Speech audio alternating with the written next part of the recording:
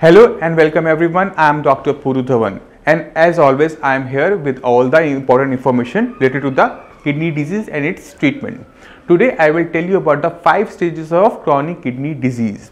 Yes, in medical terms we have categorized CKD into 5 stages depending upon its severity. I am sure with this video all your doubts related to the different stages of CKD will be sorted.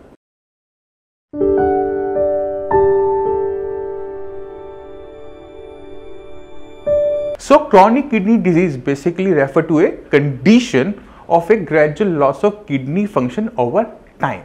We all know our kidney are responsible to filter our blood and exclude out all the waste material and toxic substance from the body. But you may not know our kidney does this function 40 times in a day. Yes, 40 times. Not just this, but there are many other essential functions which kidney performs in our body. Now imagine what will happen if our kidney stops working or reduce its functions. Any kidney related disorder that affects the function of our kidney and increases the risk of the failure comes under CKD. And the most initial symptoms are less energy, loss of appetite, muscle cramps, swelling in feet and urge to urinate more during night, itchy skin and etc etc.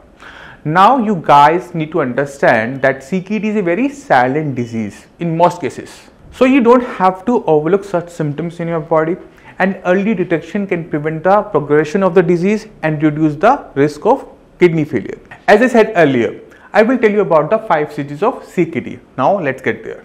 Stage 1 of CKD refers to a stage where your GFR glomerular filtration rate is above 90 ml per minute and the stage 2 where it shows your GFR between 60 to 89 ml per minute. Both these stages usually do not lead to much symptoms. In most cases, a patient may not feel any changes in their routine or their health.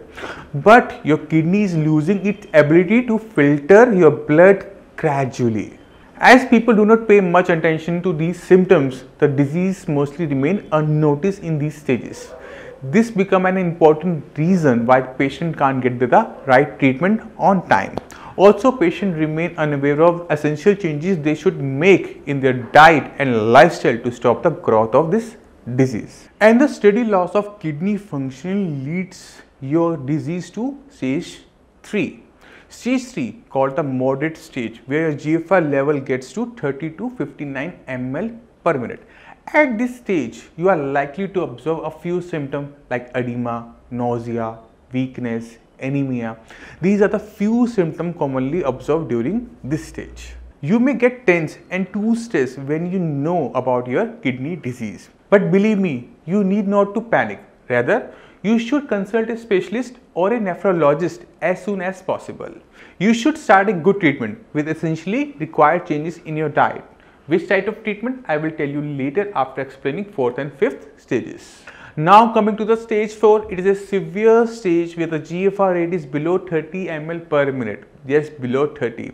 At this stage, a patient may not have any other option but to undergo dialysis as your kidney gets dysfunctional and are unable to support your health. Talking of dialysis, it is a toxic procedure that needs to be performed twice or thrice a week depending upon the health and type of dialysis.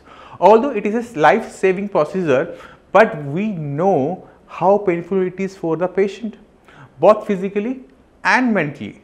Dialysis become only option here because at this stage your creatinine level and urea also gets too high.